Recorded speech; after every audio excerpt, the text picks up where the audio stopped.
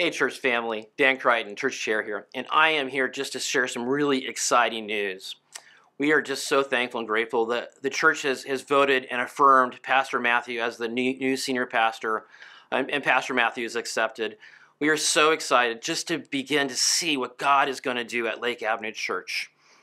Something for us to be uh, praying and thinking about, but we feel blessed as a church. And I want to say thank you.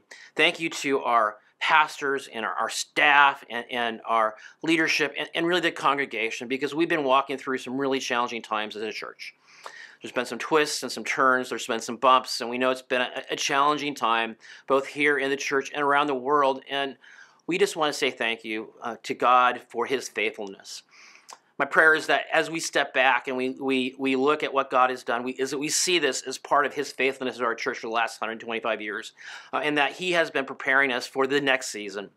So as we transition and we start to think about that season, I want to invite you to start praying for Pastor Mathew and, and Joanne and Hannah and Emma, their daughters, um, also for our, our church leadership, uh, pastors, staff, and elected leaders, and everyone who will be part of planning this next season. Let's be praying that we as a church continue to be in God's will and that we can honor Him and that we can be obedient to His call for us as a church.